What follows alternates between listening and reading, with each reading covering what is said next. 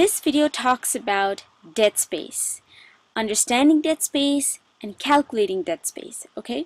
So this is obviously from the respiratory physiology section, so if you're not familiar with this section, please refer to that um, area.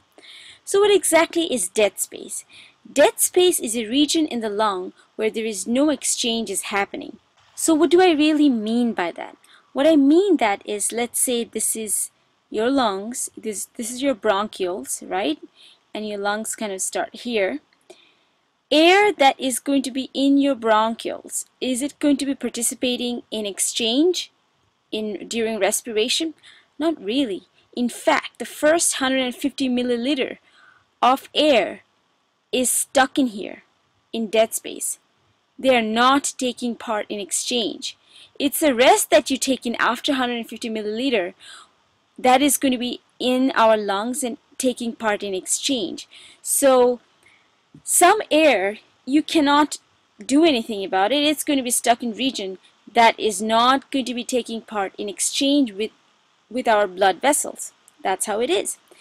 Now, I only talked about the air that is trapped inside the inside the bron bronchioles or the bronchus, the trachea, all the way to the mouth.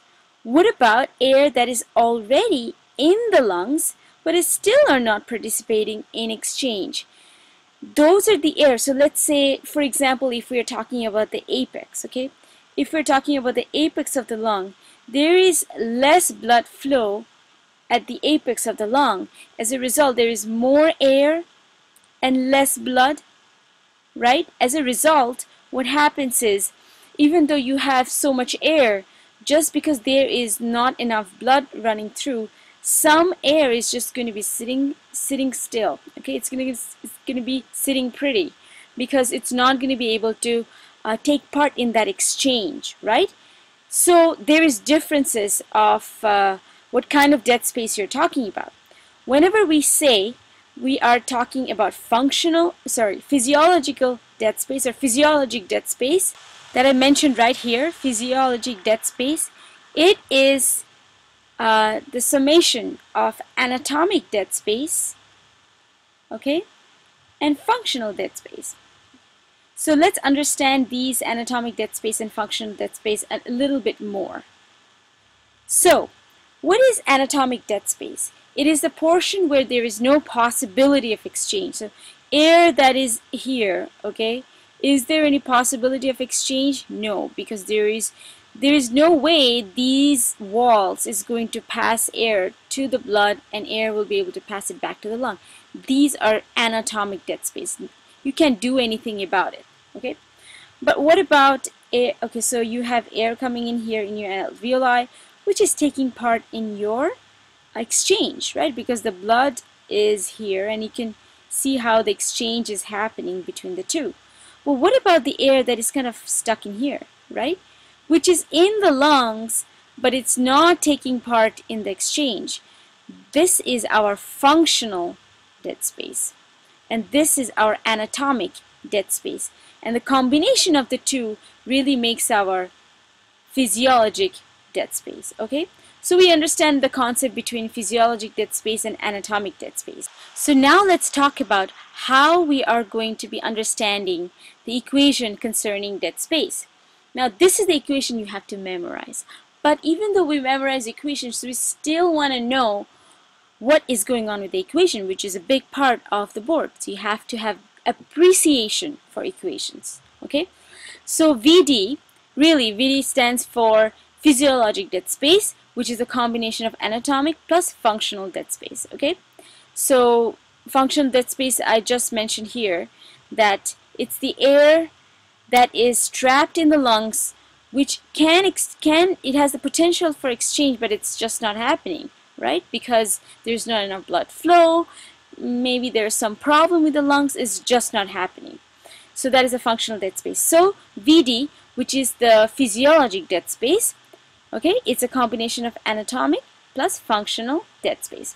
So that's VD so that's how we are going to calculate VD but how do we really calculate dead space Okay, first of all, let me go through the different uh, variables. So VT is the tidal volume, okay? It's it's a normal exchange that's happening the volume that is being exchanged. PaCO2 is the partial pressure of uh, carbon dioxide. PeCO2 is the expired partial pressure of expired carbon dioxide okay? So now let's talk about the equation. So what what we want to do is we want to find the ratio of the air that has been expelled from the lungs. What do I mean by that? So let's say this is your blood region and this is your alveoli, okay? Alveoli region. So you have 10 carbon di dioxide in your blood mm -hmm. and 8 of them are passing through, okay? So you're left with 2 to carbon dioxide which is going back to your systemic circulation. So now if we think about this scenario then we can say that the ratio of carbon dioxide that is being expelled okay is really 8 out of 10 right? Because 8 out of 10 went through.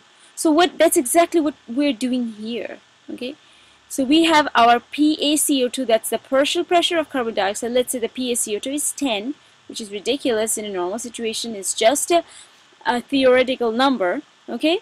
And the expired P ECO2 is going to be let's say 8 okay so we find the difference by subtracting 10 minus 2 right because 10 was the original oxygen you had PaCO2 A means arterial the small a if it was by the way if it was PA that means alveoli if it's P small a it's mean arterial so PaCO2 here is oxygen, right?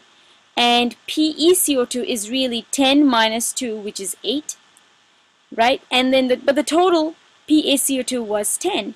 So to get this ratio, what we do is 8, which is 10 minus 2, 8 divided by 10, which was our original PaCO2, is going to give us this entire ratio. So what we want to do is we want to find the ratio of the carbon dioxide that has been exchanged. With this ratio, in this case, let's say it's 0.8, right? 8 divided by 10 is 0.8, and we multiply it with the tidal volume. Okay, how much normal exchange is happening, right? So when we multiply this number with this ratio, we get an approximation of what is our dead space, or VD, which is our physiologic dead space, which is the combination of anatomic and functional.